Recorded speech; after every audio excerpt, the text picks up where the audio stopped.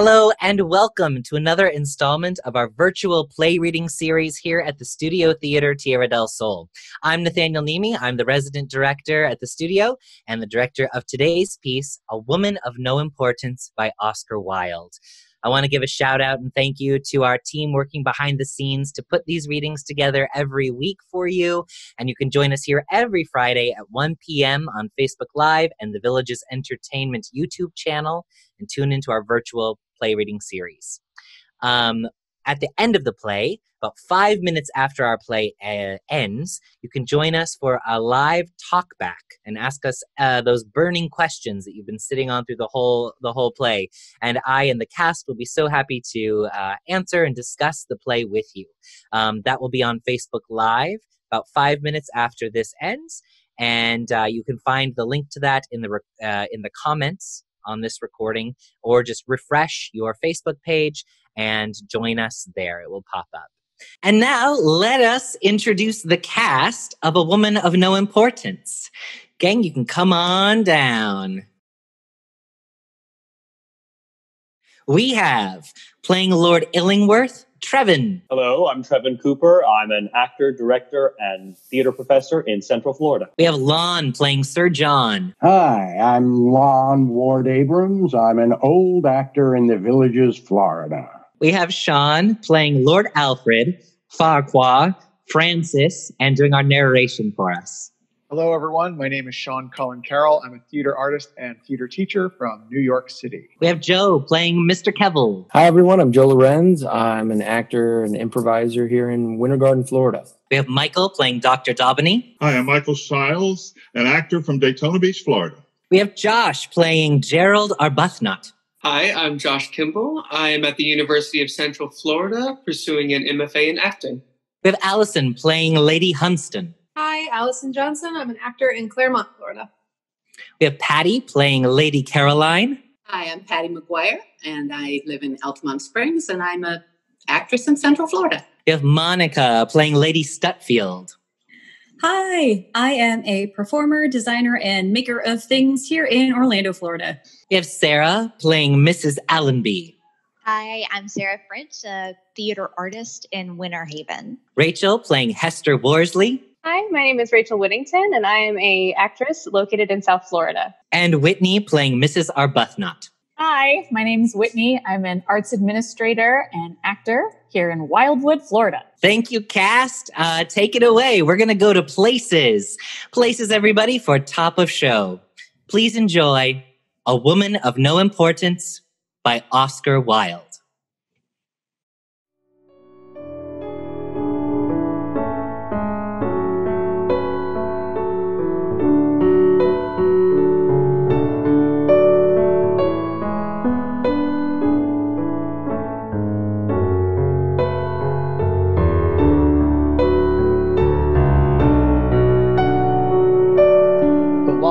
Front of the terrace at Hunstanton. Sir John and Lady Caroline Pontefract and Miss Worsley sit on chairs under a large yew tree. I believe this is the first English country house you have stayed at, Miss Worsley. Yes, Lady Caroline. You have no country houses, I am told, in America? We have not many. Have you any country? What should we call country? We have the largest country in the world, Lady Caroline. They used to tell us at school that some of our states are as big as France and England put together. Ah, you must find it very drafty, I should fancy. John, you should have your muffler. What is the use of my always knitting mufflers for you if you won't wear them? I am quite warm, Caroline, I assure you. I think not, John. Well, you couldn't come to a more charming place than this, Miss Worsley. Though the house is excessively damp, quite unpardonably damp, and dear Lady Hunstanton is sometimes a little lax about the people she asks down here. Jane mixes too much. Lord Illingworth, of course, is a man of high distinction. It is a privilege to meet him. And that member of parliament, Mr. Kettle. Kelvil, my love, Kelvil. Well, he must be quite respectable. One has never heard his name before in the whole course of one's life, which speaks volumes for a man nowadays. But Mrs. Allenby is hardly a very suitable person. I dislike Mrs. Allenby. I dislike her more than I can say. I am not sure, Miss Worsley, that foreigners like yourself should cultivate likes or dislikes about the people they are invited to meet. Mrs. Allenby is very well born. She is a niece of Lord Brancaster's. It is said, of course, that she ran away twice before she was married, but you know how unfair people often are. I myself don't believe she ran away more than once. Mr. Arbuthnot is very charming. Ah, yes, the young man who has a post in a bank. Lady Hunstanton is most kind in asking him here, and Lord Illingworth seems to have taken quite a fancy to him. Mr. Arbuthnot has a beautiful name. He is so simple, so sincere. He has one of the most beautiful natures I have ever come across. It is a privilege to meet him. It is not customary in England, Miss Worsley, for a young woman to speak with such enthusiasm of any person of the opposite sex. English women conceal their feelings till after they are married. They show them then. Do you, in England, allow no friendship to exist between a young man and a young girl? Lady Hunstanton enters, followed by footmen with shawls and a cushion. We think it very inadvisable. Jane, I was just saying what a pleasant party you have asked us to meet. You have a wonderful power of selection. It is quite a gift.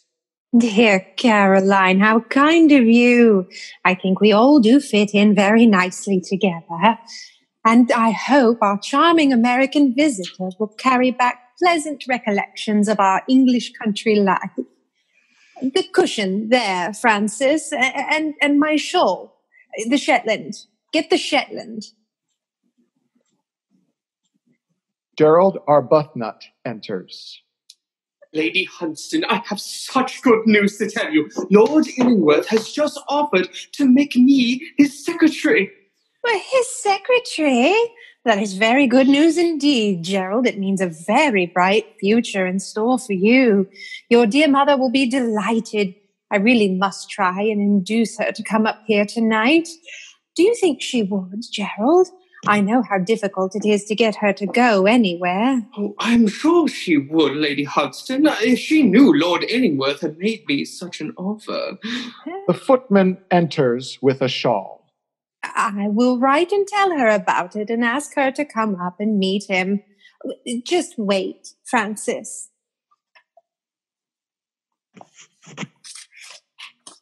That is a very wonderful opening for so young a man as you are, Mr. Arbuthnot. It is indeed, Lady Caroline. I, I trust I shall be able to show myself worthy of it. I trust so. Well, you have not congratulated me yet, Miss Worsley. Are you very pleased about it? Well, of course I am. It means everything to me. Things that were out of the reach of hope before may be within hope's reach now. Nothing should be out of the reach of hope. Life is hope. I fancy, Caroline, that diplomacy is what Lord Illingworth is aiming at. I heard that he was offered Vienna, but that may not be true. I don't think that England should be represented abroad by an unmarried man, Jane. It might lead to complications. You are too nervous, Caroline. Believe me, you are too nervous. Besides, Lord Illingworth may marry any day. I was in hopes he would have married Lady Kelso, but I believe he said her family was too large. Or was it her feet? I forget which. Oh, tell Henry to wait for an answer. Will you come for a stroll, Miss Worsley? With pleasure. John, the grass is too damp for you. You had better go and put on your overshoes at once. I am quite comfortable, Caroline, I assure you. You must allow me to be the best judge of that, John. Pray do as I tell you. You spoil him, Caroline. You do indeed. Mrs. Allenby and Lady Stutfield enter. Well, dear, I hope you like the park. It is said to be well timbered. Mm-hmm. The trees are wonderful, Lady Hunstanton. Mm-hmm. Quite, quite wonderful. But somehow I feel sure that if I lived in the country for six months, I should become so unsophisticated that no one would take the slightest notice of me. I assure you, dear, that the country is not that effect at all. Hmm. Why, it was from Melthorpe, which is only two miles from here, that Lady Belton eloped with Lord Featherdale. Hmm. I think to elope is cowardly. It's running away from danger, and danger has become so rare in modern life. And as far as I can make out, the young women of the present day seem to make it the sole object of their lives to be always playing with fire. The one advantage of playing with fire, Lady Caroline, is that one never gets even singed. It is the people who don't know how to play with it who get burned up. Yes, I see that. It is very, very helpful. I don't know how the world would get on with such a theory as that, dear Mrs. Allenby. Ah, the world was made for men and not for women. Oh, don't say that, Lady Stutfield. We have a much better time than they have. There are far more things forbidden to us than are forbidden to them. Yes, that is quite, quite true. I, I had not thought of that. Sir John and Mr. Kelvil enter. Eh, Mr. Kelvil, have you got through your work? I have finished my writing for the day, Lady Hunstanton. It has been an arduous task. The demands on the time of a public man are very heavy nowadays. Very heavy indeed. And I don't think they meet with adequate recognition. John, have you got your overshoes on? Yes, my love. I think you had better come over here, John. It is more sheltered. I am quite comfortable, Caroline. I think not, John. You had better sit beside me. Sir John rises and goes across. And what have you been writing about this morning, uh, Mr. Kelvil?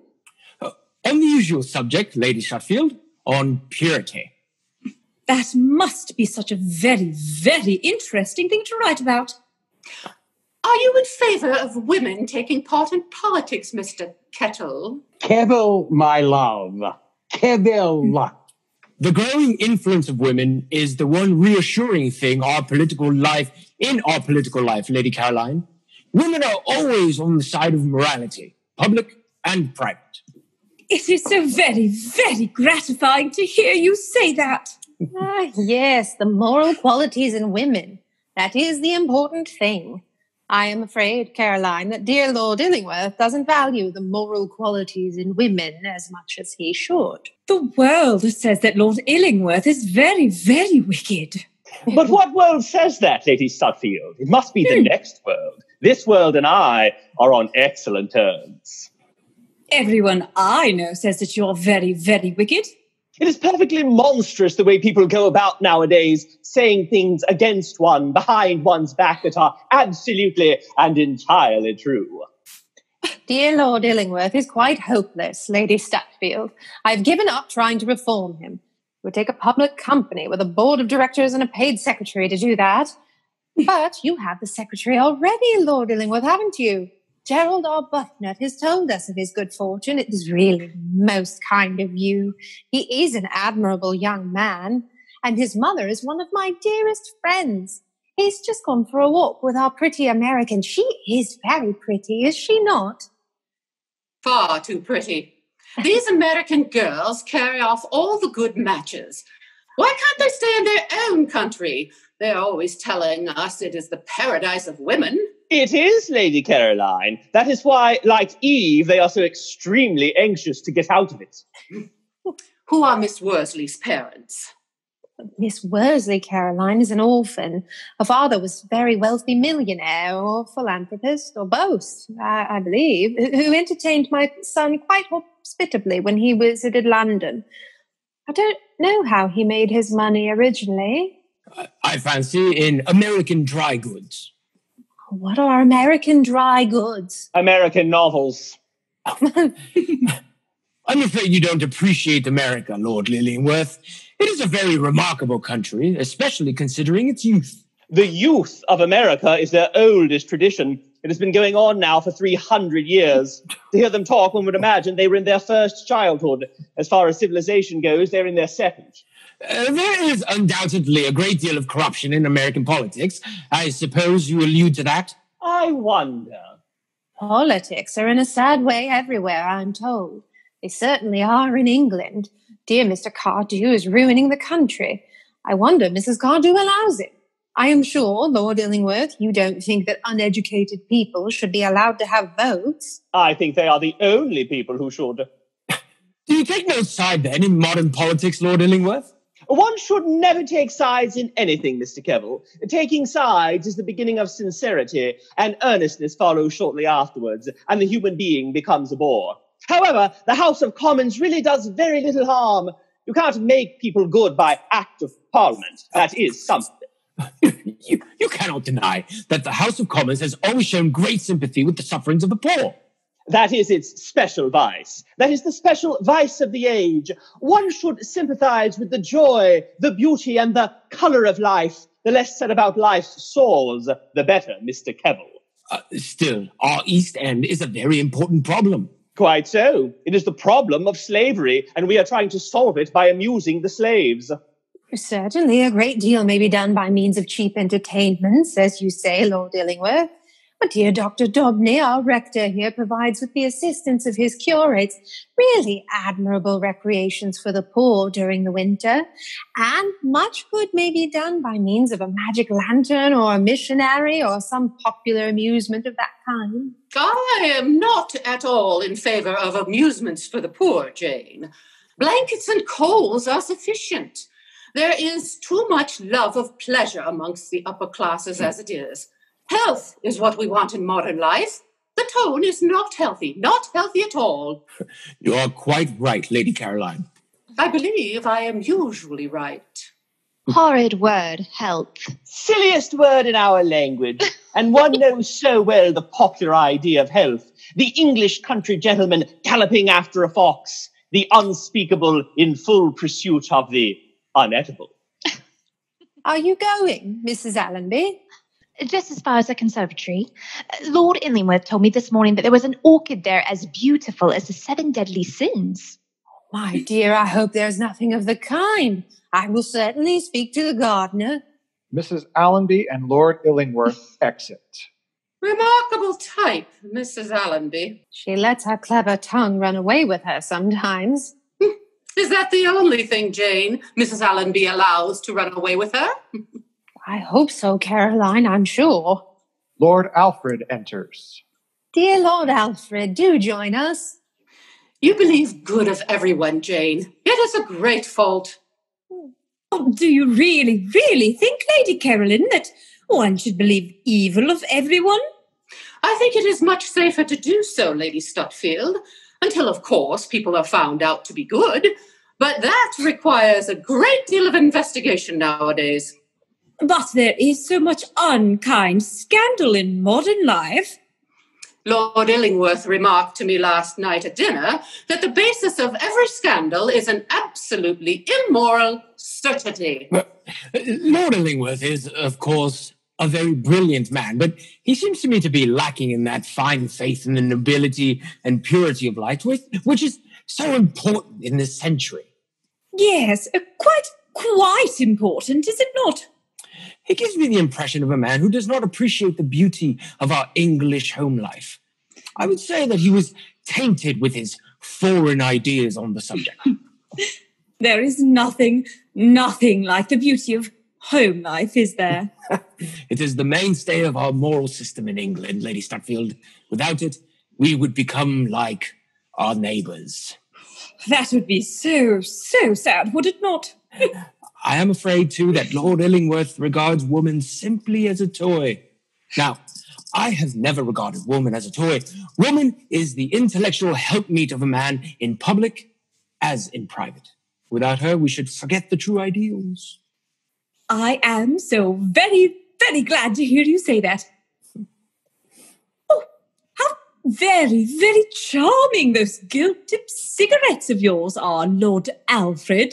They are awfully expensive. I can only afford them when I'm in debt. It must be terribly, terribly distressing to be in debt. One must have some occupation nowadays. If I hadn't my debts, I shouldn't have anything to think about. All the chaps I know are in debt. But don't the people to whom you owe money give you a great, great deal of annoyance. Oh, no. They write. I don't. How very, very strange. A letter is delivered to Lady Hunstanton. Oh, here is a letter, Caroline, from dear Mrs. Arbuthnot. Oh, she won't dine. I'm so sorry. Oh, but she will come in the evening. I'm very pleased indeed. She is one of the sweetest of women. Writes a beautiful hand, too. So large, so firm. Hmm, a little lacking in femininity, Jane. Femininity is the quality I admire most in women. Oh, she's very feminine, Caroline, and so good, too. You should hear what the Archdeacon says of her. He regards her as his right hand man, and he regards her as his right hand in the parish. Shall we all go in? Lady Stutfield, shall we go in to tea? Oh, with pleasure, Lady Hunstanton. They rise and proceed to go off.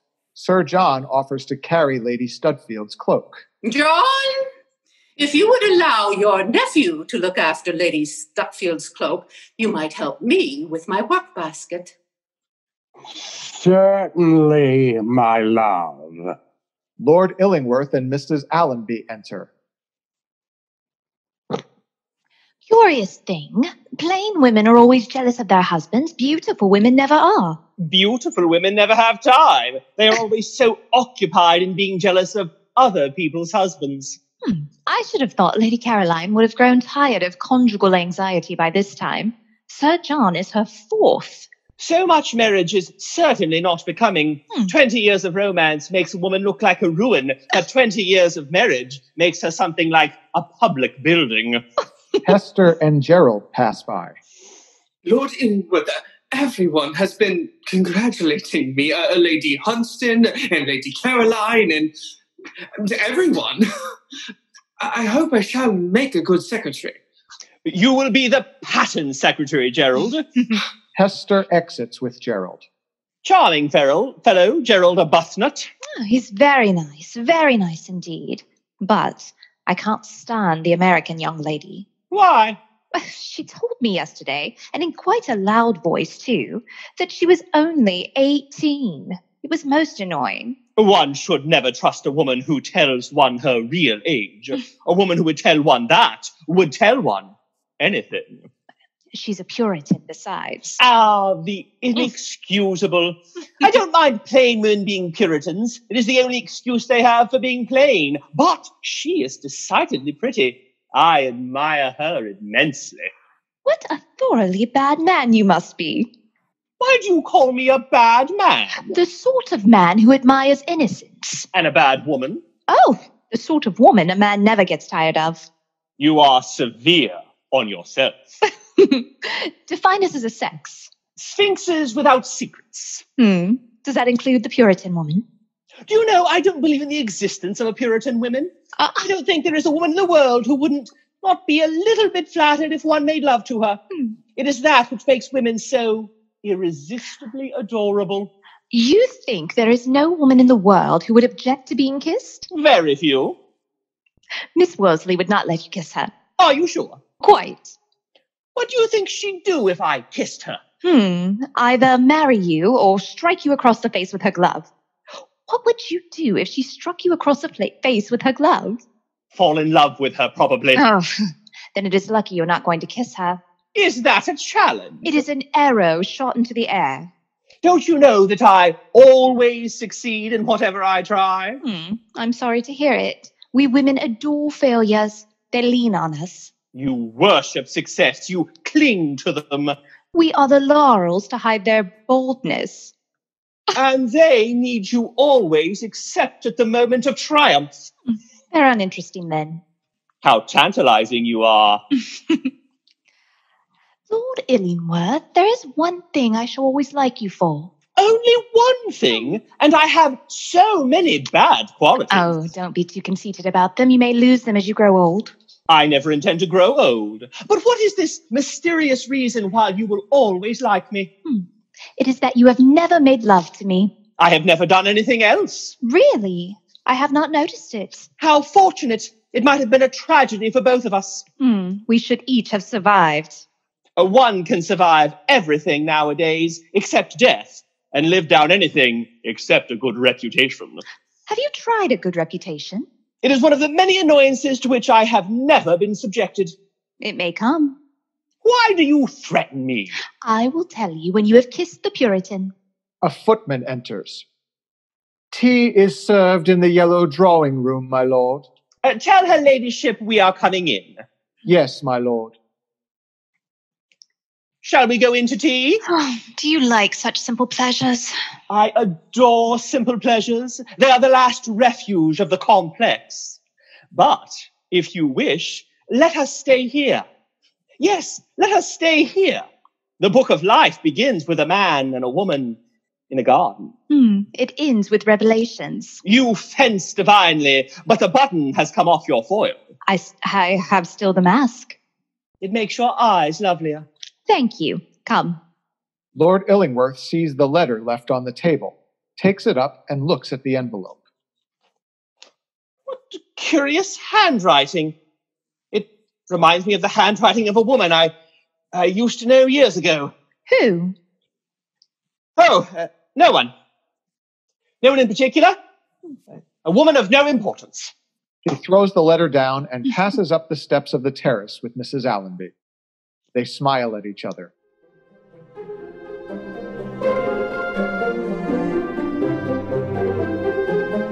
The drawing room at Hunstanton after dinner. Lamps lit. The ladies are seated on sofas. What a comfort it is to have got rid of the men for a little. The annoying thing is that the wretches can be perfectly happy without us.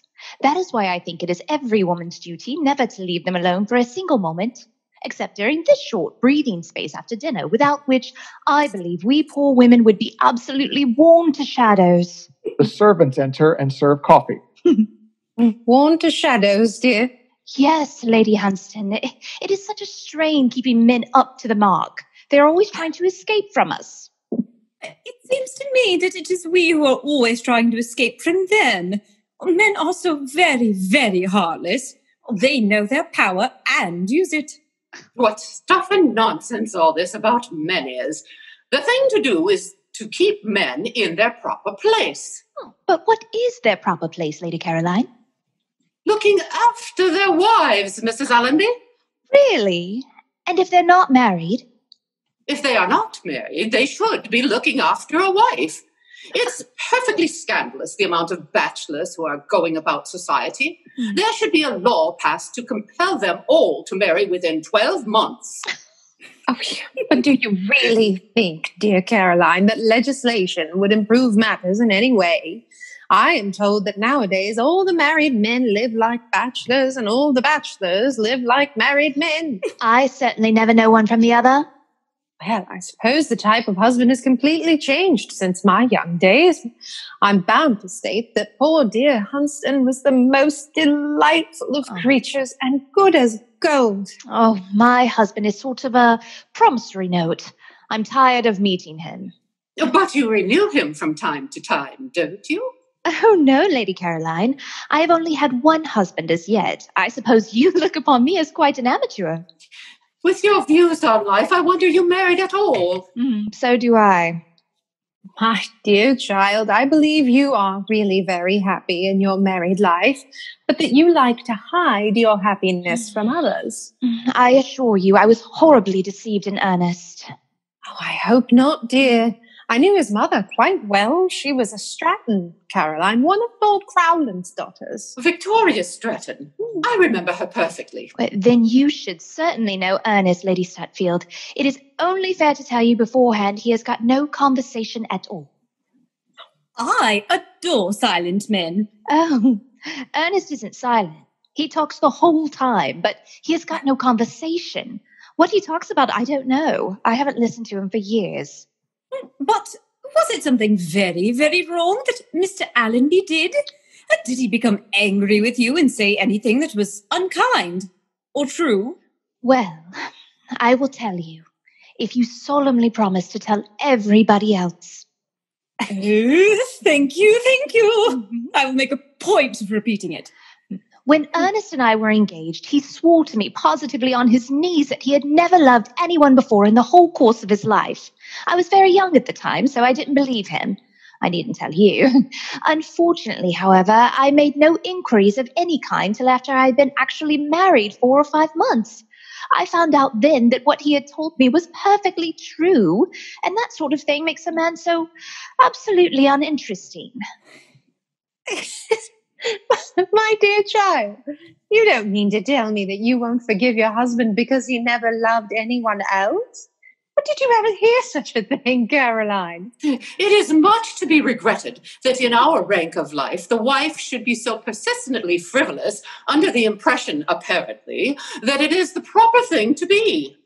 Do you know, Lady Caroline, I don't think the frivolity of the wife has ever anything to do with it. More marriages are ruined nowadays by the common sense of the husband than by anything else. How can a woman expected to be expected to be happy with a man who insists on treating her as if she were a perfectly rational being? Yes, the common sense of husbands is certainly most, most trying. But do tell me your conception of the ideal husband. I think it would be so very, very helpful. The ideal husband? There couldn't be such a thing. The institution is wrong. Uh, the ideal man, then, in his relations to us. He would probably be extremely realistic. The ideal man. Oh, the ideal man should talk to us as if we were goddesses and treat us as if we were children. He should refuse all our serious requests and gratify every one of our whims. He should always say much more than he means and always mean much more than he says. Well, but uh, how could he do both, dear? He should persistently compromise us in public and treat us with absolute respect when we are alone.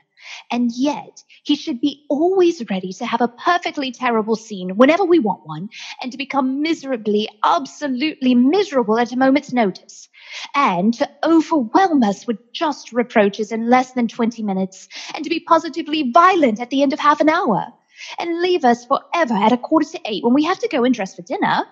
And, when, after that, one has seen him for really the last time, and he has refused to take back the little things he has given us, and promised never to communicate with one again or to write one any foolish letters. He should be perfectly broken hearted and telegraph to one all day long and send one little note every half hour by a private hansom and dine quite alone at the club so that everyone should know how unhappy he was. And then, if his conduct has been quite irreproachable and he has behaved really badly to him, he should be allowed to admit that he has been entirely in the wrong. And when he has admitted that, it becomes a woman's duty to forgive, and one can do it all over again from the beginning with variations. How clever you are, my dear. You never mean a single word you say. Thank you, thank you. It has been quite entrancing. I must try and remember it all. Do you think, Mrs. Allenby, I shall ever meet the ideal man, or are there more than one? There are just four in London, Lady Stutfield. oh, my dear. Oh, what has happened? Do tell me. Uh, I had completely forgotten that the American young lady has been in the room all the time. I'm afraid some of this clever talk may have shocked her a little. Oh, that will do her so much good. Let us hope she didn't understand much. I think I'd better go over and talk to her. She rises and goes across to Hester Worsley and sits down beside her. Well, dear Miss Worsley, how quiet you have been in your little corner all this time. I suppose you've been reading a book. There are so many good books here in the library. No, I have been listening to the conversation. You mustn't believe everything that was said, you know, dear.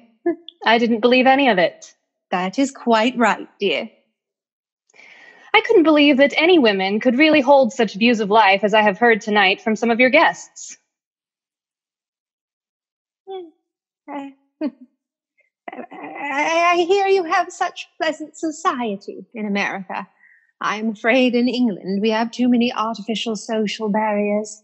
We don't see as much as we should of the middle and lower classes. In America, we have no lower classes. Really? What a very strange arrangement. There are a great many things you haven't got in America, I am told, Miss Worsley. They say you have no ruins and no curiosities. The English aristocracy supply us with our curiosities, Lady Caroline. As for ruins, we are trying to build up something that will last longer than brick or stone. Well, what is that, dear? Oh, yes, a- a- an iron exhibition, is it not? At, at that uh, place that has the curious name. Uh, We are trying to build up life, Lady Hunston, on a better, truer, purer basis than life rests on here. This sounds strange to you all, no doubt. How could it sound other than strange? You rich people in England, you don't know how you are living. How could you know? You shut out life from pure society, the gentle and the good. You laugh at the simple and the pure, living as you all do on others, and by them you sneer at self sacrifice. And if you throw bread to the poor, it is merely to keep them quiet for a season. With all your pomp and wealth and art, you don't know how to live. You don't even know that. You love the beauty that you can see and touch and handle, the beauty that you can destroy and do destroy. But of the unseen beauty of life, the unseen beauty of a higher life, you know nothing. You have lost life's secret. I don't think one should know of these things. It's not very, very nice, is it? My dear Miss Worsley, I thought you liked English society so much. You were such a success in it, and you were so much admired by the best people. I quite forget what Lord Henry Weston said of you, but it was most complimentary, and, you know what an absolute authority he is on beauty. Lord Henry Weston. I remember him, Lady Hunston. A man with a hideous smile and a hideous past. He is asked everywhere. No dinner party is complete without him. What of those whose ruin is due to him? They are outcasts. They are nameless. If you met them in the street, you would turn your head away. I don't complain of their punishment. Let all women who have sinned be punished. Mrs. Arbuthnot enters from the terrace in a cloak with a lace veil over her head. She hears the last words and starts. My dear young lady. It is right that they should be punished, but don't let them be the only ones to suffer. If a man and woman have sinned, let them both go forth into the desert to love or loathe each other there. Let them both be branded. Set a mark if you wish on each, but don't punish the one and let the other go free. Don't have one law for men and another for women. Might I, dear Miss Worsley, as you are standing up, ask you for my cotton that is just behind you? Thank you. My dear Mrs. Arbuthnot, I am so pleased you have come up, but I didn't hear you announce. Oh, I came straight in from the terrace, Lady Hunston, just as I was. You didn't tell me you had a party. Oh, not a party, only a few guests who are staying in the house and whom you must know. Caroline, this is Mrs. Arbuthnot, one of my sweetest friends. Lady Caroline Pontefract, Lady Stutfield, Mrs. Allenby, and my young American friend, Miss Worsley, who has just been telling us all how wicked we are. Hmm. Hmm. I am afraid you think I spoke too strongly, Lady Hunston, but there are some things in England which really My should. dear young lady, there was a great deal of truth, I dare say, in what you said, and you looked very pretty while you said it, which is much more important, Lord Illingworth would tell us. The only point where I thought you were a little hard was about Lady Caroline's brother, about poor Lord Henry. He is really such good company. Lady Caroline, I had no idea it was your brother. I am sorry for the pain I must have caused you. I, My dear Miss Worsley, the only part of your little speech, if I may so term it, with which I thoroughly agreed, was the part about my brother. Nothing that you could possibly say could be too bad for him. I regard Henry as infamous, absolutely infamous, but I am bound to state, as you were remarking, Jane, that he is excellent company, and he has one of the best cooks in London. And after a good dinner, one can forgive anybody, even one's own relations. Now, do come, dear, and make friends with Mrs. Arbuthnot. She is one of the good, sweet, simple people you told us we never admitted into society. I am sorry to say Mrs. Arbuthnot comes very rarely to me, but that is not my fault. Oh, what a bore it is, the men staying so long after dinner. I expect they are saying the most dreadful things about us.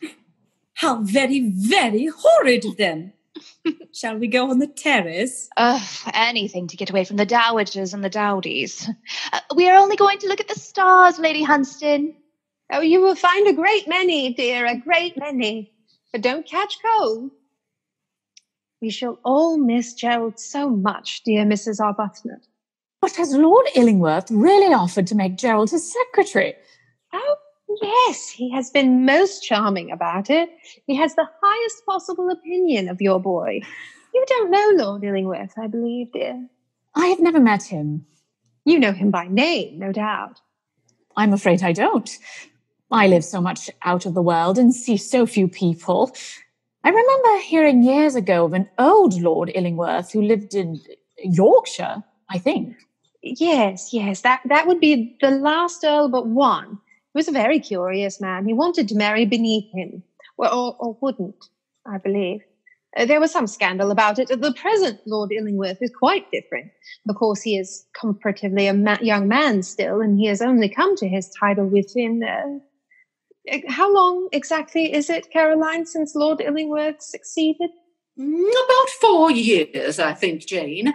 I know it was the same year in which my brother had his last exposure in the evening newspapers.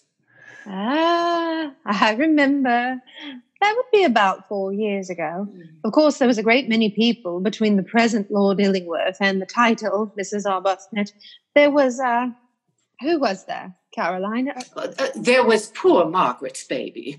You remember how anxious she was to have a boy, and it was a boy, but it died. And her husband died shortly afterwards, and she married almost immediately one of Lord Ascot's sons, who, I am told, beats her. Ah, that is in the family, dear. That is in the family. And there was also, I remember, a clergyman who wanted to be a lunatic. No, oh, uh, no, a lunatic who wanted to be a clergyman. I forget which, but but I know the Court of Chancery investigated the matter and decided that he was quite sane. Uh, and, and I saw him afterwards at poor Lord Plumstead's with straws in his hair or, or something very odd about him. Can't recall what. I only regret, Lady Caroline, that dear Lady Cecilia never lived to see her son get the title. Lady Cecilia? Uh, Lord Illingworth's mother, dear Mrs. Arbuthnot, uh, was one of the Duchess of Jerningham's pretty daughters, but she married Sir Thomas Harford, who wasn't considered a very good match for her at the time, though he was said to be the handsomest man in London. I knew them all quite intimately, and both the sons, Arthur and George. It was the eldest son who succeeded, of course. Lady Hunston? But no, no, dear, he was killed in the hunting field. Well, was it fishing, Caroline? I forget. But uh, no, George came in for everything. I, I always tell him that no younger son has ever had such good luck as he has had. Uh, Lady Hunston, I want to speak to Gerald at once. Might I see him? Can he Yes, be sent for? Certainly, dear. I, I will send one of the servants into the dining room to fetch him. I don't know what keeps the gentleman so long. When I knew Lord Illingworth first as plain George Harford, he was simply a very brilliant young man about town, with not a penny of money except what poor dear Lady Cecilia gave him. She was quite devoted to him, chiefly, I fancy, because he was on bad terms with his father. Oh, here's the dear Archdeacon. Sir John and Dr. Daubeny enter. Sir John goes over to Lady Stutfield. Dr. Daubeny to Lady Hunston. Lord Illingworth has been most entertaining. I have never enjoyed myself more. Mrs. Arbuthnot, You see, I have got Mrs. Arbuthnot to come to me at last. that is a great honor, Lady Hunston. Mrs. Daubeny will be quite jealous of you. I am so sorry, Mrs. Daubeny could not come with you tonight. Headache as usual, I suppose. Yes, Lady Hunston, a perfect martyr, but she is happiest alone. She is happiest alone. John! Sir John goes over to his wife. Dr. Daubeny talks to Lady Hunston and Mrs. Arbuthnot. Mrs. Arbuthnot watches Lord Illingworth the whole time. He has passed across the room without noticing her and approaches Mrs. Allenby, who, with Lady Stutfield, is standing by the door looking onto the terrace. How is the most charming woman in the world? But what a short time you've been in the dining room. It seems as if we had only just left. I was bored to death. Never opened my lips the whole time, absolutely longing to come into you. Oh, you should have. The American girl has been giving us a lecture. Oh, really? What did she lecture about? Oh, Puritanism, of course. I'm going to convert her, am I not? How long do you give me? A week. A week is more than enough. Gerald enters. Dear mother! Gerald, I don't feel well at all. See me home, Gerald. I shouldn't have come. Oh, I'm so sorry, mother, certainly. But you must know Lord Illingworth first. Not tonight, Gerald. Uh, Lord Illingworth, I want you so much to meet my mother. With the greatest pleasure. I'll be back in a moment. People's mothers always bore me to death. All women become like their mothers. That is their tragedy. No man does. That is his. What a delightful mood you are in Mm-hmm. tonight. Lord Illingworth turns round and goes across with Gerald to Mrs. Arbuthnot. When he sees her, he starts back in wonder. Then slowly his eyes turn toward Gerald. Mother, this is Lord Illingworth, who has offered to take me as his private secretary. You'll thank Lord Illingworth, mother, won't you? Lord Illingworth is very good, I'm sure, to interest himself in you for the moment. Oh, uh, Gerald and I are great friends already, Mrs. Arbuthnot. There can be nothing in common between you and my son, Lord Illingworth. But, dear mother, how can you say so? Of course, Lord Illingworth is awfully clever and that sort of thing, but there's nothing Lord Illingworth doesn't know. My dear boy. He knows more about life than anyone I have ever met. I feel an awful duffer when I am with you, Lord Illingworth. Of course, I, I have so few advantages. I've not been to Eton or Oxford like other chaps, but Lord Illingworth doesn't seem to mind that. He has been awfully good to me, Mother. Lord Illingworth may change his mind. He may not really want you as his secretary. Mother! You must remember, as you said yourself, you've had so few advantages. Lord Illingworth, I want to speak to you for a moment. Do come over. Uh, will you excuse me, Mrs. Arbuthnot? Now, don't let your charming mother make any more difficulties, Gerald. The thing is quite settled, isn't it? I hope so. Caroline, shall we all make a move to the music room? Miss Worsley is going to play. You'll come too, dear Mrs. Arbuthnot, won't you? You don't know what a treat is in store for you. Dr. Daubeny, I must really take Mrs. Wor- Miss Worsley down some afternoon to the rectory. I should so much like dear Mrs. Daubeny to hear her on the violin. Uh, I forgot. Dear Mrs. Daubeny's hearing is a little defective, is it not? Her deafness is a great, great privation to her. She can't even hear my sermons now. She reads them at home. But she has many resources in herself, many resources. She reads a good deal, I suppose. Just the very largest print. The eyesight is rapidly going, but she's never morbid, uh, never morbid. Do speak to my mother, Lord Illingworth, uh, before you go into the music room. She seems to think somehow you, you don't mean what you say to me. Aren't you coming? In a few moments.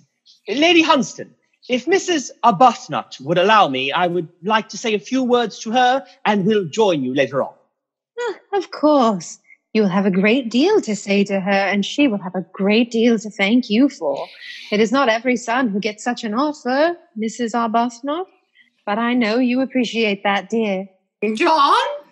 Now, don't keep Mrs. Arbuthnot too long, Lord Illingworth. We can't spare her. She exits following the other guests. So, that is our son, Rachel. Well, I am very proud of him. He is a Harford, every inch of him. By the way, why a Arbuthnot, Rachel? One name is as good as another when one has no right to any name.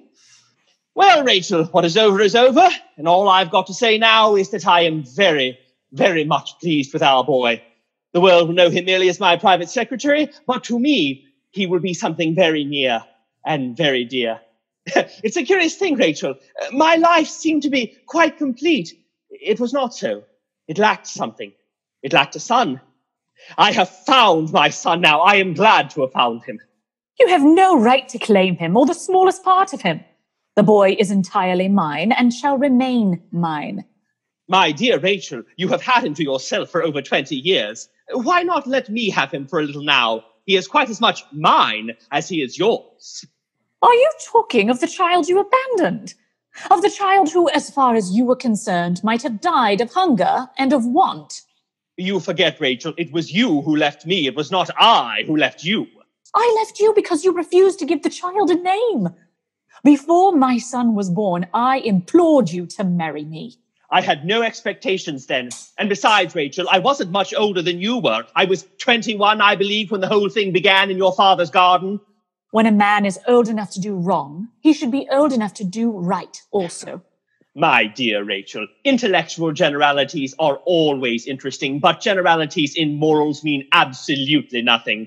As for saying I left our child to starve, that of course is untrue and silly. My mother offered you 600 a year, but you wouldn't take anything. You simply disappeared and carried the child away with you. I wouldn't have accepted a penny from her.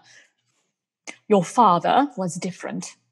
He told you in my presence when we were in Paris that it was your duty to marry me. Oh, duty is what one expects from others. It is not what one does oneself. Of course, I was influenced by my mother. Every man is when he is young. I am glad to hear you say so. Gerald shall certainly not go away with you. What nonsense, Rachel. Do you think I would allow my son? Our son! My son!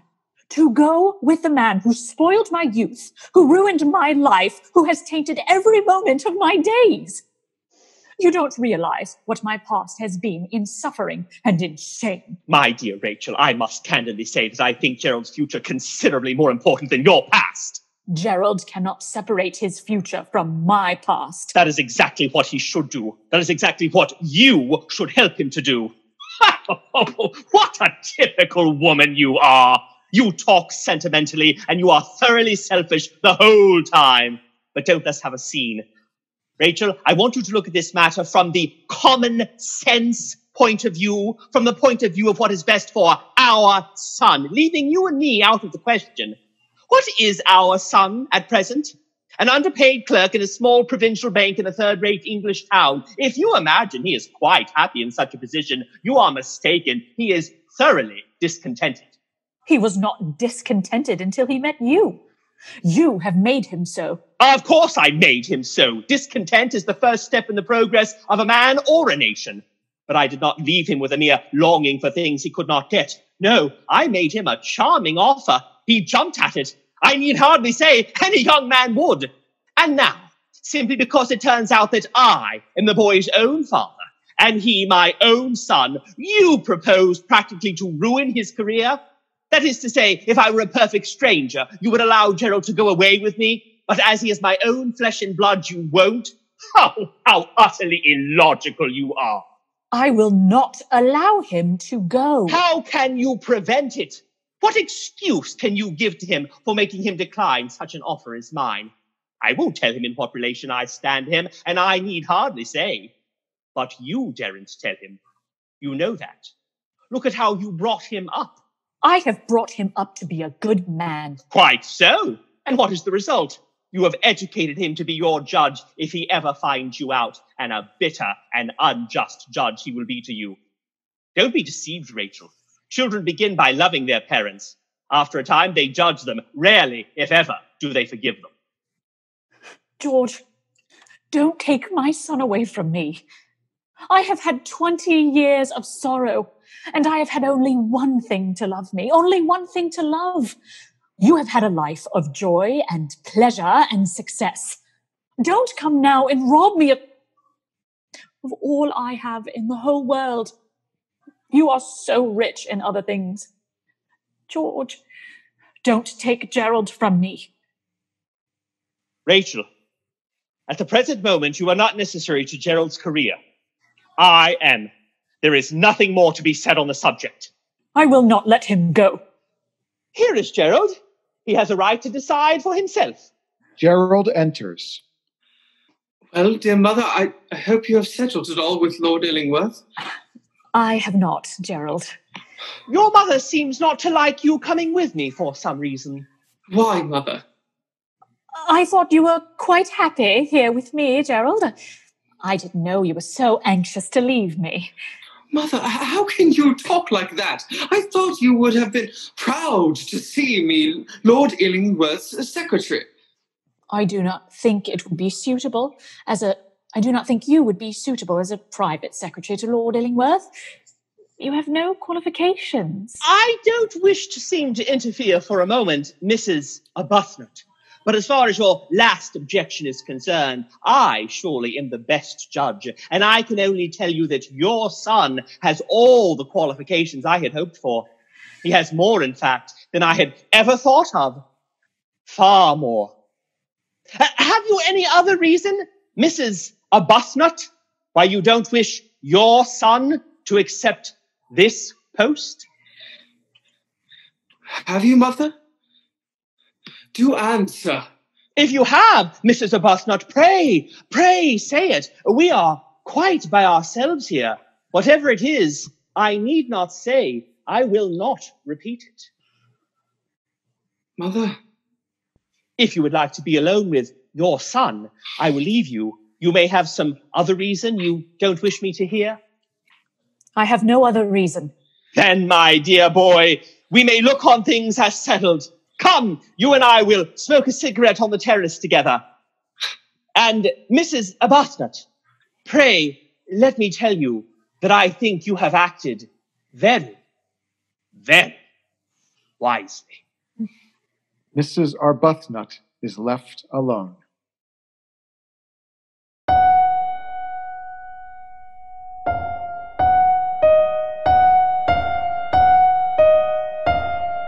Picture gallery at Hunston. A door at the back leads on to a terrace. Lord Illingworth reclines in a sofa, Gerald in a chair. Thoroughly sensible woman, your mother, Gerald. I knew she would come round in the end. My mother's awfully conscientious, Lord Illingworth, and, and I know she doesn't think I am educated enough to be your secretary.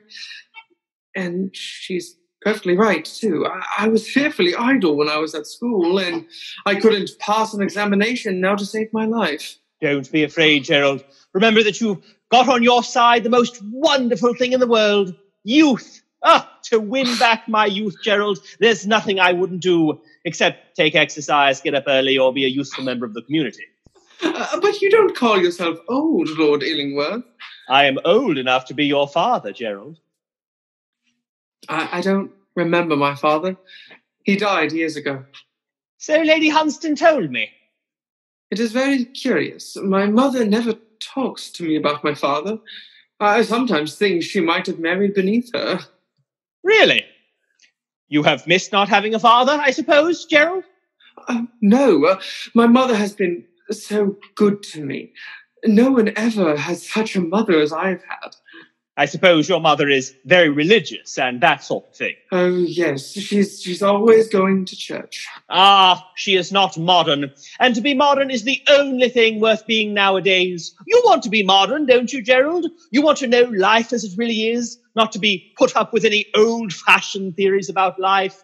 Well, what you have to do at present is simply fit yourself for the best society. A man who can dominate a London dinner table can dominate the world. By the way, Gerald, you should learn how to tie your tie better. Sentiment is all very well for the buttonhole, but the essential thing for a necktie is style. A well-tied tie is the first serious step in life. I, I might be able to learn how to how to tie a tie, Lord Illingworth, but I should never be able to talk as you do. I, I don't I don't know how to talk. Oh, talk to every woman as if you loved her, and to every man as if he bored you. And at the end of your first season, you will have the reputation of possessing the most perfect social tact. But it is very difficult to get into society, isn't it? To get into the best societies nowadays, one has either to feed people, amuse people, or shock people. That is all. I suppose society is it's a wonderful thing. To be in it is merely a bore, but to be out of it simply a tragedy. Society is a necessary thing. No man has any real success in the world unless he has got a woman to back him, and women rule society.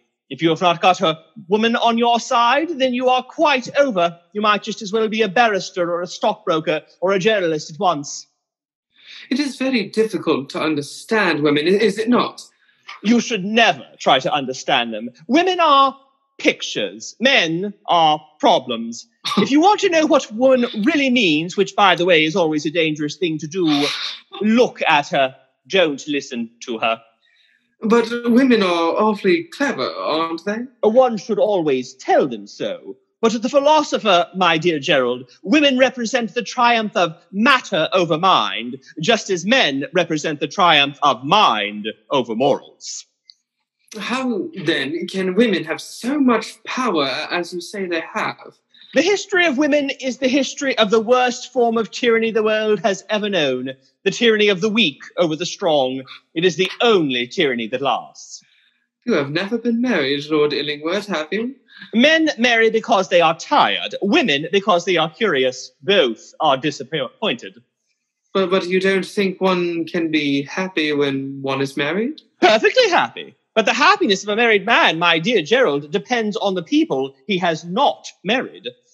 But if one is in love. One should always be in love. That is the reason one should never marry.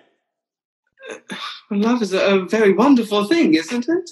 When one is in love, one begins by deceiving oneself, and one ends by deceiving others. That is what the world calls a romance. But a really grand passion is comparatively rare nowadays. It is the privilege of people who have nothing to do. That is one use of the idle classes in a country, and the only possible explanation of us Harfords. Harfords, Lord Illingworth? Uh, that is my family name. You should study the peerage, Gerald. It is the one book a young man about town should know thoroughly, and it is the best thing in fiction that England has ever produced. And now, Gerald, you are going into a perfectly new life with me, and I want you to know how to live. For the world has been made by fools, that the wise men should live it. Mrs. Arbuthnot appears on the terrace. Lady Hunstanton and Dr. Daubeny enter. Ah, here you are, dear Lord Illingworth. Well, I suppose you have been telling our young friend Gerald what his new duties are to be and giving him a great deal of good advice over a pleasant cigarette. I have been giving him the best of advice, Lady Hunstanton, and the best of cigarettes. I am so sorry I was not here to listen to you, but I suppose I am too old now to learn. Except from you, dear Archdeacon, when you are in your nice pulpit. But then I always know what you are going to say, so I don't feel alarmed. Ah, dear Mrs. Arbuthnot, do come join us. Come, dear. Gerald has been having such a long talk with Lord Illingworth. I am sure you must feel very much flattered at the pleasant way in which everything has turned out for him. Let us sit down. Now, what are you talking about, Lord Illingworth? Do tell us. I was on the point of explaining to Gerald that the world has always laughed at its own tragedies, that being the only way in which it has been able to bear them, and that consequently, whatever the world has treated seriously belongs to the comedy side of things. Now, I am quite out of my depth. I usually am when Lord Illingworth says anything. You and I, dear Mrs. Arbuthnot, are behind the age. We can't follow Lord Illingworth. I should be sorry to follow Lord Illingworth in any of his opinions. You are quite right, dear. Lady Caroline enters. Jane, have you seen John anywhere? You needn't be anxious about him, dear. He is with Lady Stutfield. I saw them some time ago in the yellow drawing room. They seem quite happy together. You're, you're not going, Caroline. Pray sit down. I think I had better look after John. Lady Caroline exits. Oh, it doesn't do to pay men so much attention. And Caroline really has nothing to be anxious about. Lady Stutfield is very sympathetic. She's just as sympathetic about one thing as she is about another. A beautiful nature. Sir John and Mrs. Allenby enter. Ah, here is Sir John, and with Mrs. Allenby too. Sir John Caroline has been looking everywhere for you. We've been waiting for her in the music room, dear Lady Hunstanton. Ah, the music room, of course. I thought it was the yellow drawing room. My memory is getting so defective. Mrs. Daubeny has a wonderful memory, hasn't she? She used to be quite remarkable for her memory, but since her last attack, uh, she recalls chiefly the events of her early childhood. But she finds great pleasure in such retrospections. Great pleasure. Lady Stutfield and Mr. Kelvil enter. Ah, dear Lady Stutfield, and what has Mr. Kelvil been talking to you about? About bimetallism, as well as I remember. Bimetallism.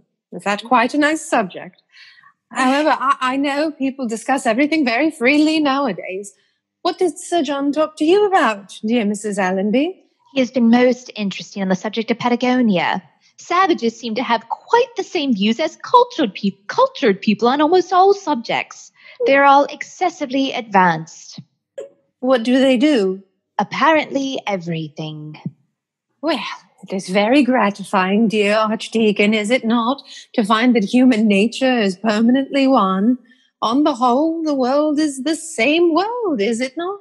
The world is simply divided into two classes those who believe the incredible, like the public, and those who do the improbable. Like yourself? Yes, I am always astonishing myself. It is the only thing that makes life worth living. And what have you been doing lately that astonishes you? I have been discovering all kinds of beautiful qualities in my own nature. Ah, don't qu- don't become quite perfect all at once. Do it gradually. I don't intend to grow perfect at all. At least I hope I shan't. It would be the most inconvenient. Women love us for our defects. If we have enough of them, they will forgive us everything, even our gigantic intellects. Ah, we women should forgive everything, shouldn't we, dear Mrs. Arbuthnot? I am sure you agree with me in that. I do not, Lady Hunstanton. I think there are many things women should never forgive. What sort of things? The ruin of another woman's life? Ah, those things are very sad, no doubt, but I believe there are admirable homes where people of that kind are looked after and reformed. And I think, on the whole, that the secret of life is to take things very, very easily. No, the secret of life is to never have an emotion that is unbecoming. Uh, the secret of life is to appreciate the pleasure of being terribly, terribly deceived. The secret of life is to resist temptation, Lady Stutfield. There is no secret of life. Life's aim, if it has one, is simply to be always looking for temptations. There are not nearly enough. I sometimes pass a whole day without coming across a single one. It is quite dreadful. It makes one so nervous about the future. I don't know how it is, dear Lord Illingworth, but everything you have said today to me seems excessively immoral.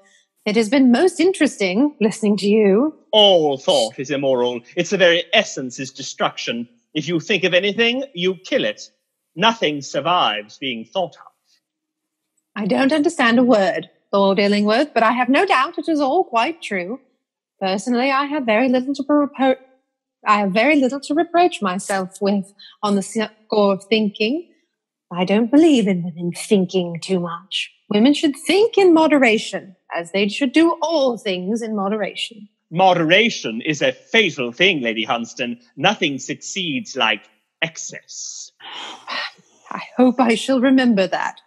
Sounds an admirable maxim, but I'm beginning to forget everything.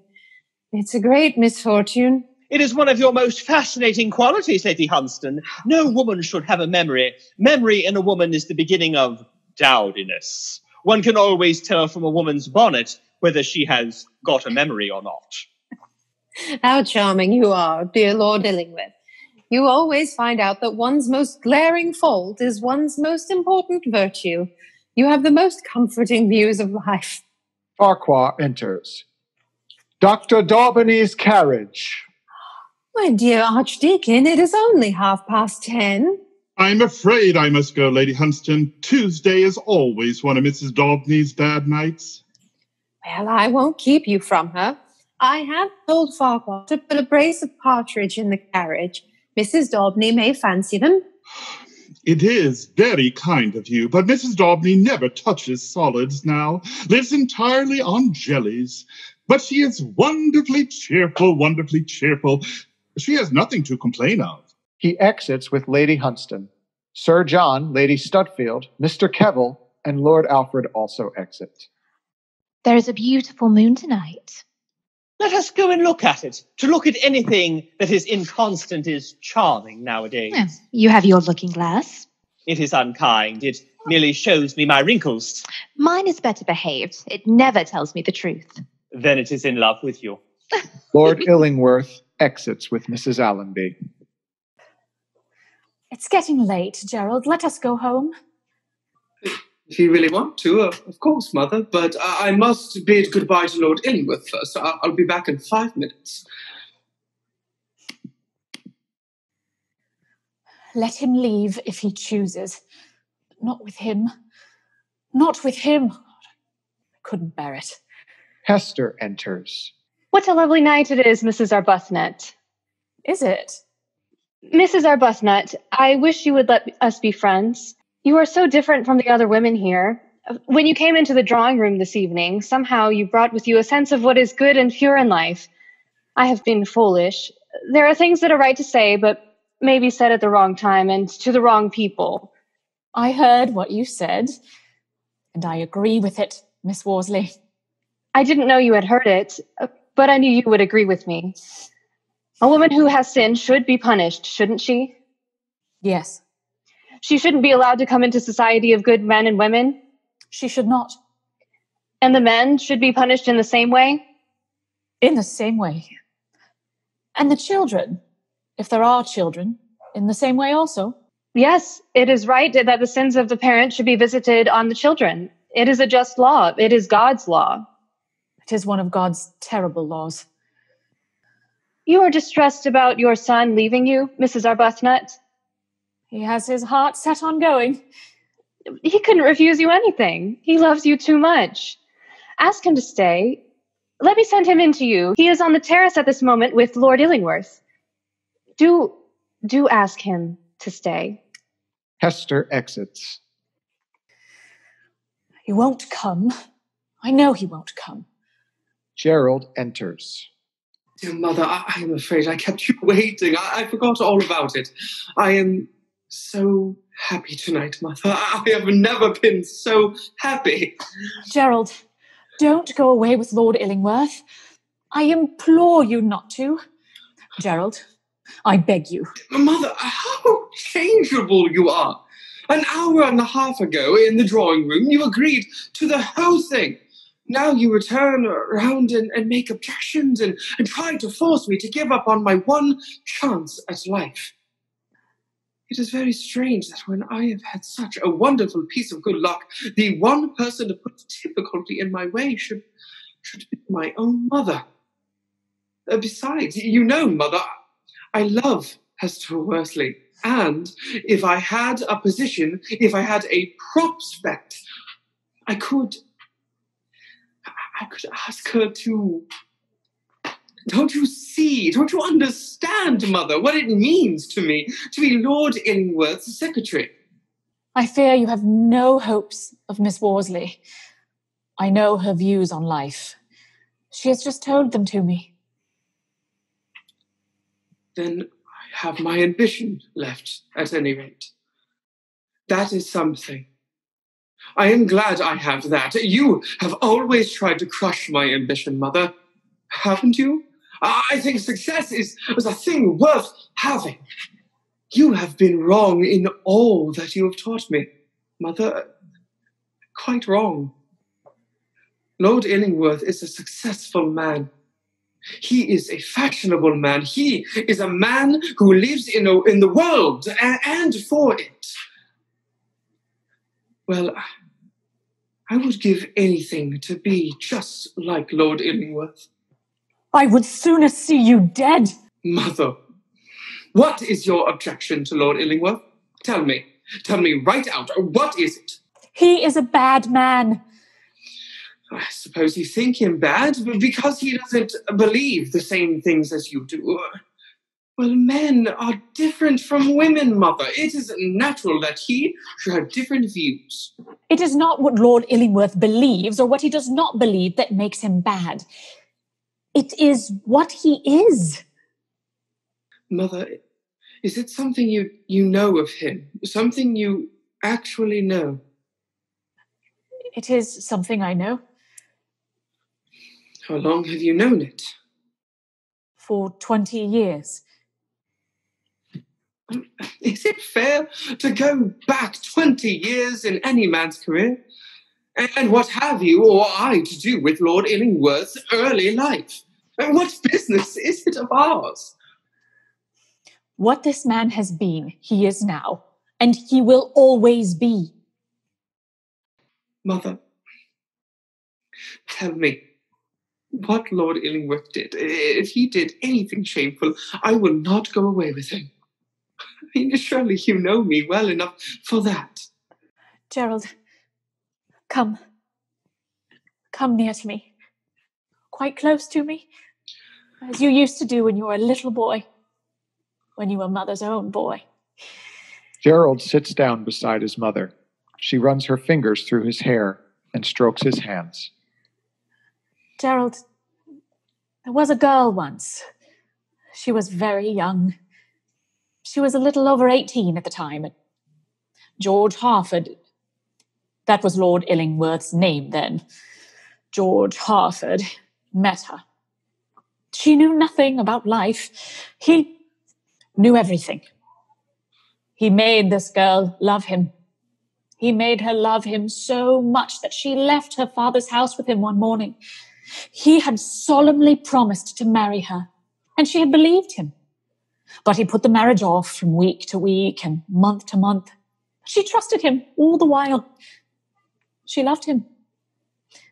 Before her child was born, before she had a child, she implored him for the child's sake to marry her, that the child might have a name, that her sin might not be visited on the child who was innocent.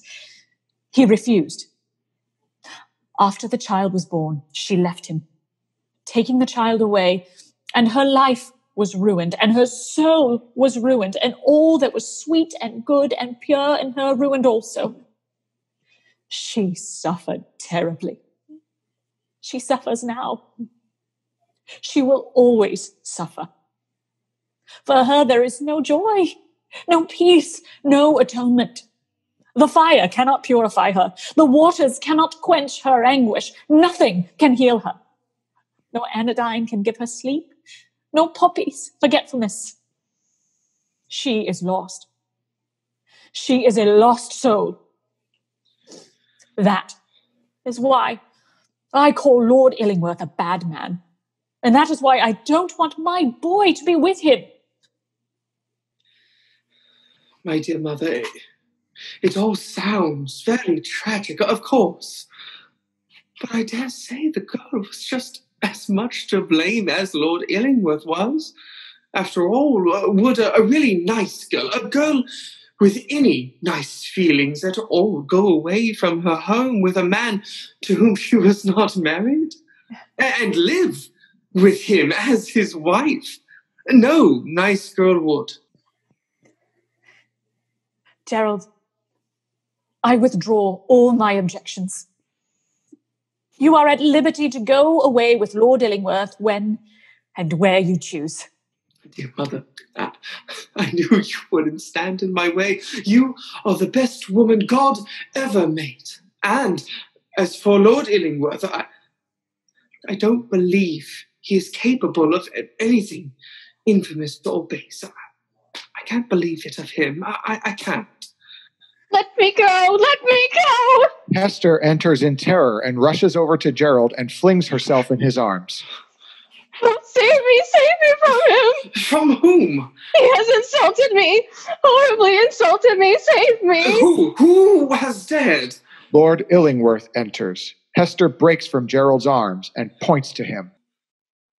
Lord Illingworth, you have insulted the, the purest thing on God's earth, a, a thing as pure as my own mother?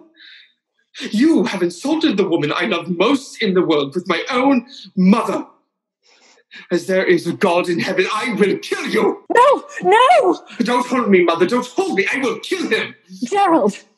Let me go, I say. Stop! Gerald, stop! He is your own father! Gerald clutches his mother's hands and looks into her face. She sinks slowly on the ground in shame. Hester steals towards the door. Lord Illingworth bites his lip.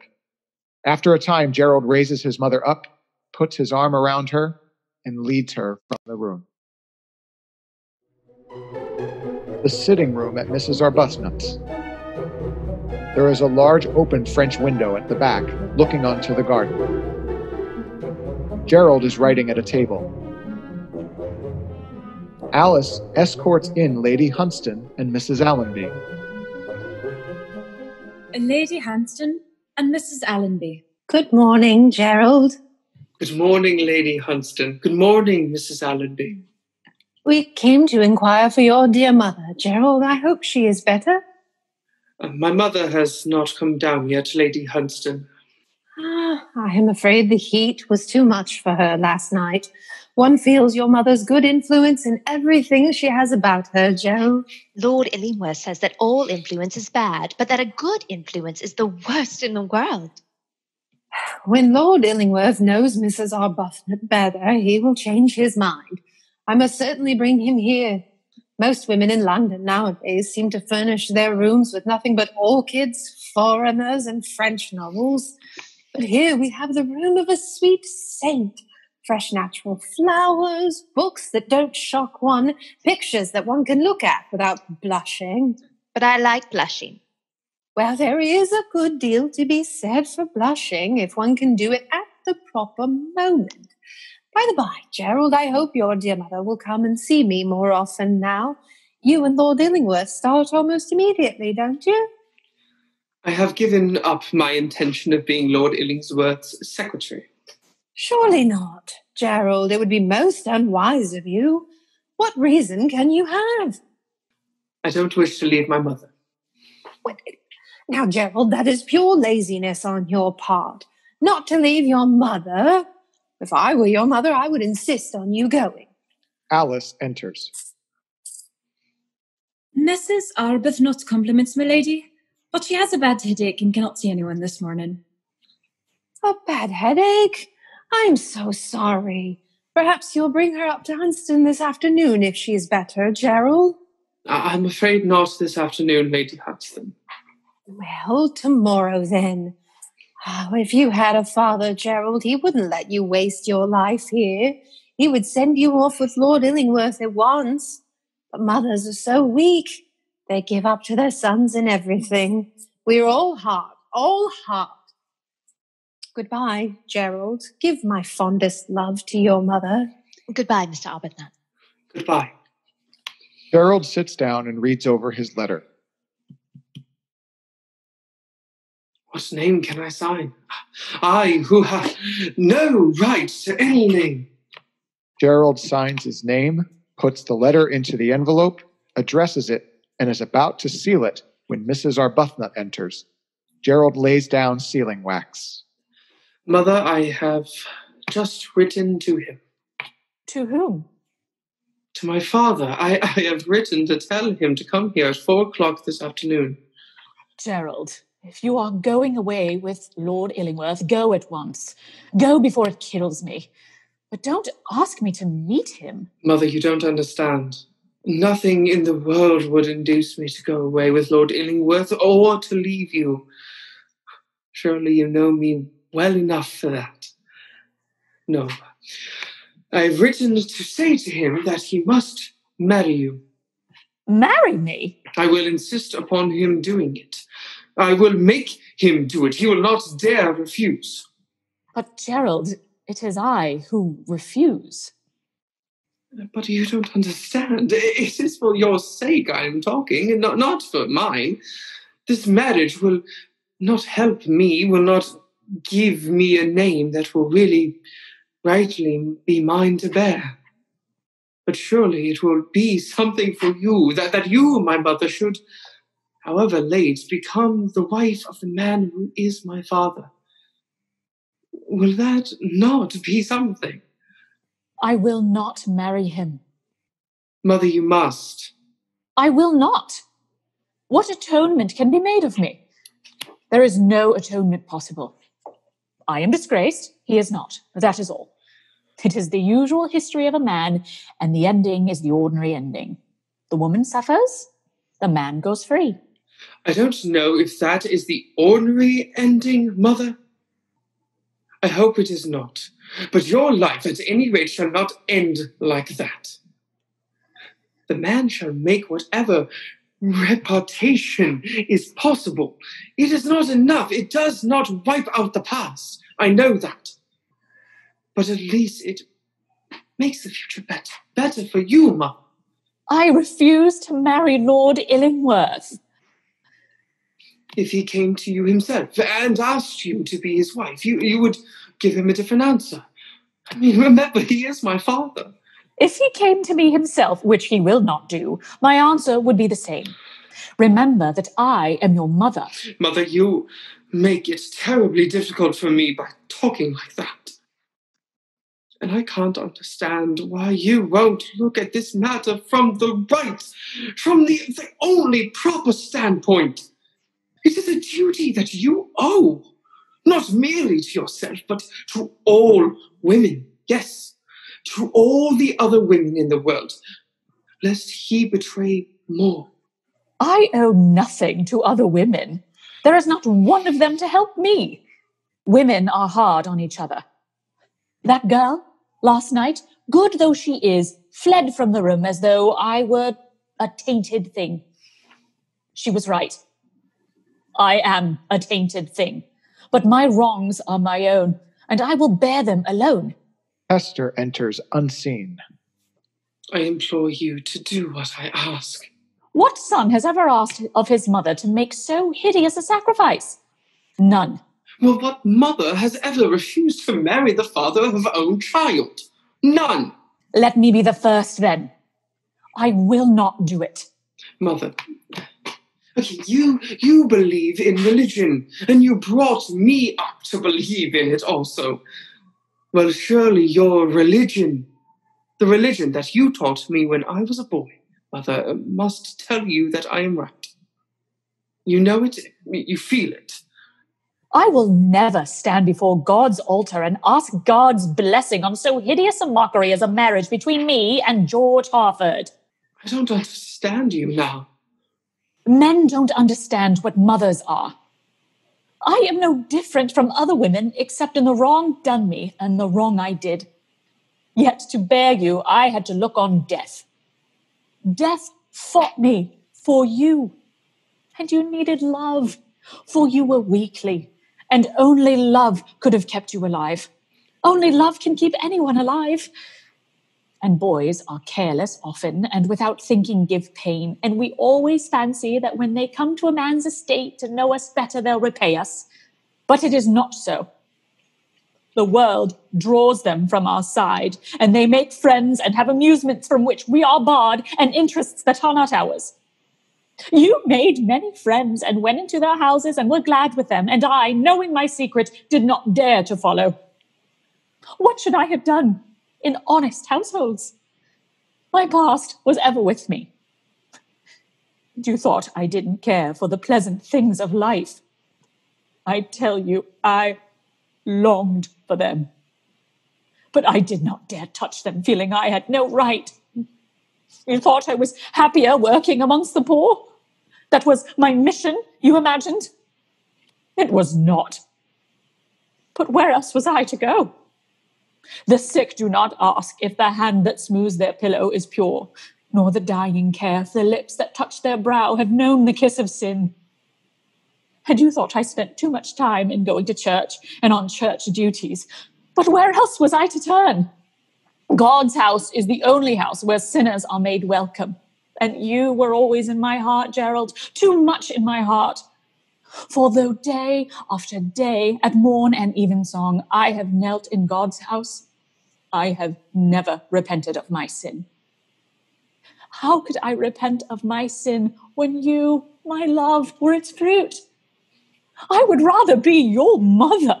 Oh, much rather than have been always pure. Don't you see? Don't you understand? It is my dishonor that has made you so dear to me. It is my disgrace that has bound you so closely to me. Oh, don't ask me to do this horrible thing. Child of mine, child of my shame, be still the child of my shame. Uh, Mother, I didn't know you loved me so much as that. And I will be a better son to you than I have ever been. But, Mother, I, can't help it. You must become my father's wife. You must marry him. It is your duty. No, no, you shall not. That would be real dishonor, the first you have ever known. That would be real disgrace, the first to touch you. Leave him and come with me. There are other countries than England. Oh, other countries overseas, better, wiser, and less unjust lands. The world is very wide and very big. Hester. Don't, don't. You cannot love me at all unless you love her also. You cannot honor me unless she is holier to you. In her, all womanhood is martyred. Not she alone, but all of us are stricken in her house. Hester, what, what shall I do? Do you respect the man who is your father? Respect him. I, I despise him. He is infamous. I thank you for saving me from him last night. That that is nothing. I, I would die to save you, but, but you don't. You don't tell me what to do now. Have I not thanked you for saving me? But what should I do? Ask your own heart, not mine. I never had a mother to save or shame. He is hard. He is hard. Uh, let me go away. Mother, mother, forgive me. I, I have been to blame. Don't kiss my hands. They are cold. My heart is cold. Something has broken it. Don't say that. Why, at this moment, you are more dear to him than ever, dear though you have been. And oh, how dear you have been always. Oh, be kind to him. You are my mother and my father all in one. I need no second parent. It was I for you I spoke, for you alone. Oh, say something, mother. Have I but found one love to, to lose another? Oh, don't tell me that. Oh, mother, you are so cruel. But has he indeed found another love? You know I have loved him always. But we are disgraced. We rank among the outcasts. Gerald is nameless. The sins of the parents should be visited on the children. It is God's law. I was wrong. God's only law is love.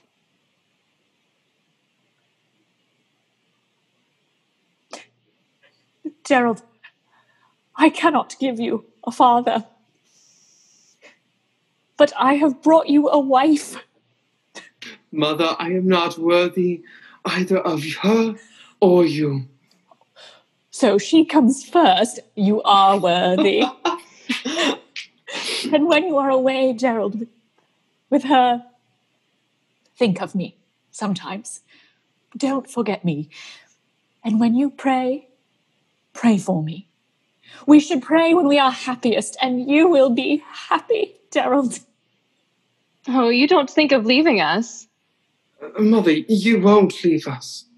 I might bring shame upon you. Mother! For a little, then. And if you let me, near you always.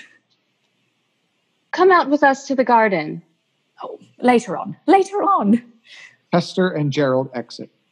Mrs. Arbuthnot goes towards the door, stops at the looking glass over the mantelpiece, and looks into it. Alice enters. A gentleman to see you, ma'am? Say I'm not home. Uh, Show me the card. Say I will not see him. Lord Illingworth enters.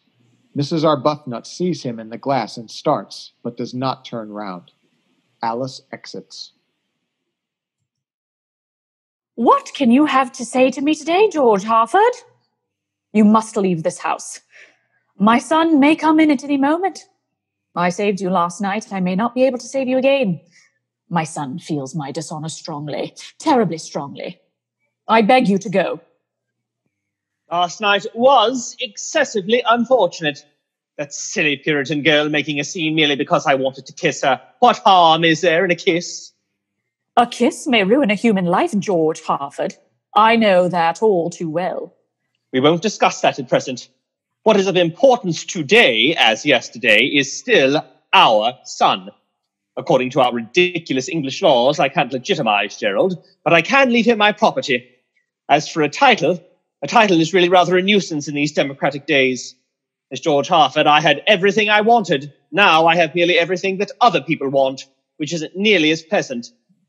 Well, my proposal is this. I told you I was not interested, and I beg you to go. The boy is to be with you for six months in the year, and with me for the other six. that is perfectly fair, is it not?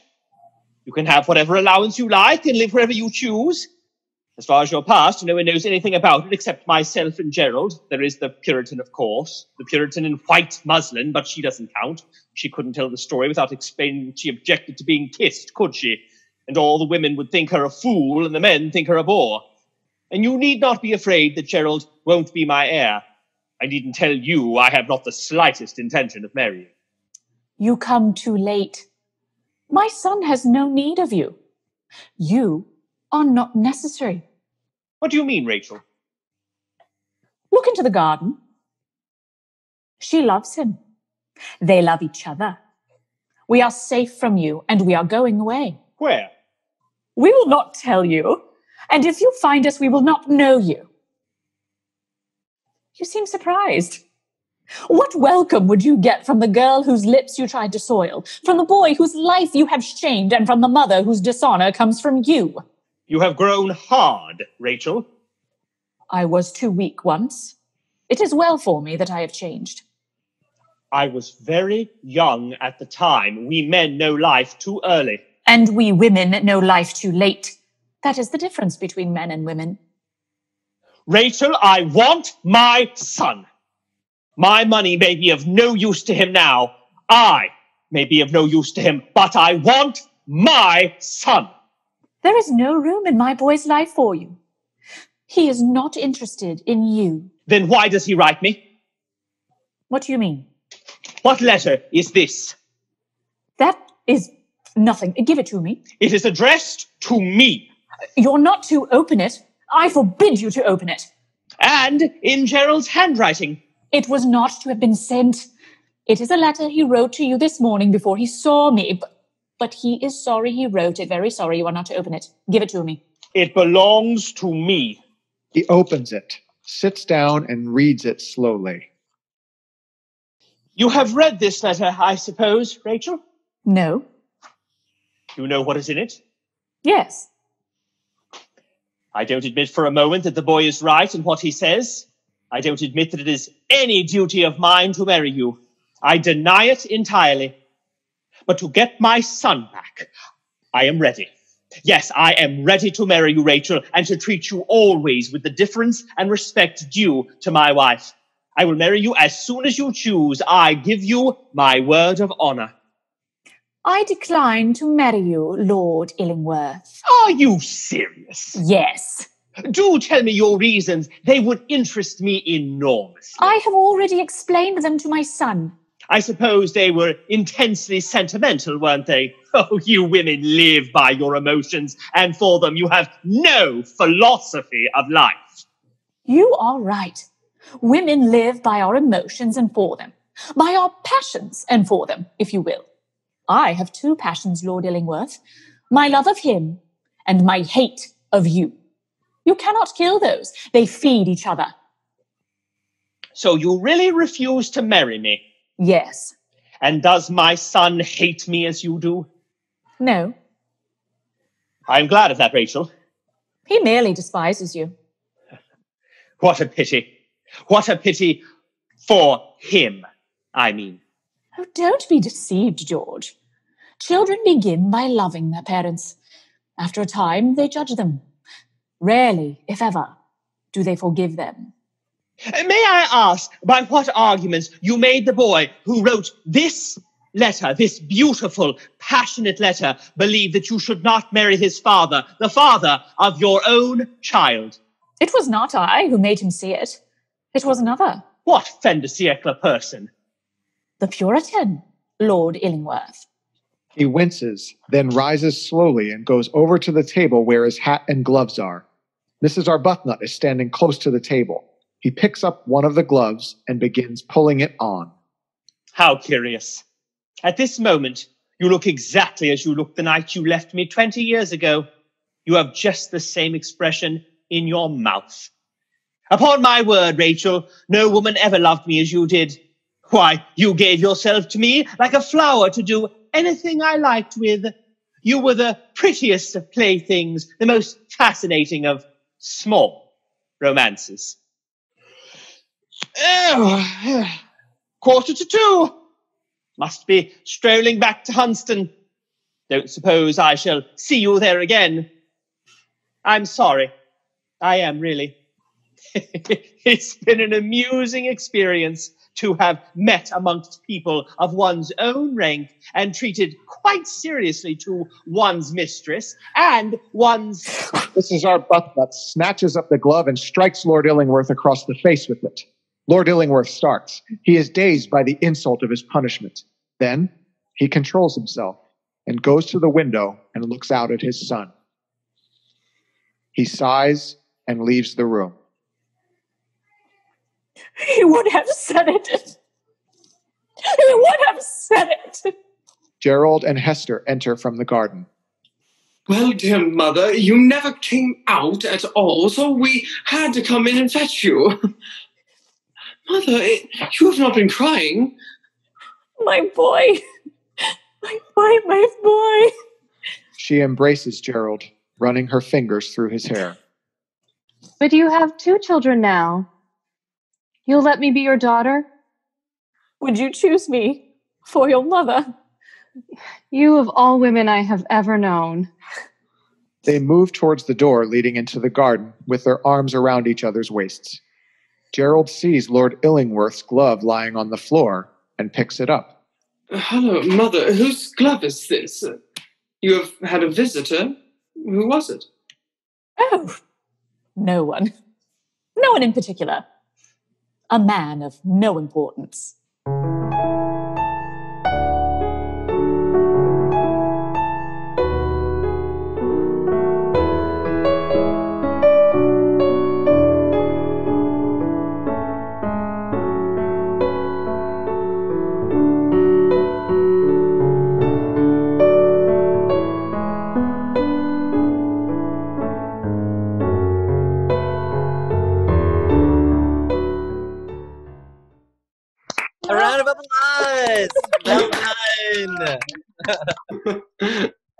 Was A Woman of No Importance by Oscar Wilde. Thank you so much for joining us. I want to give a big shout out to our beautiful cast. Well done. Thank you so much.